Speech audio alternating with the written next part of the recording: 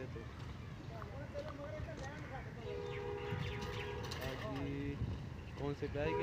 यहाँ पे आएगी पीछे थोड़ी सी।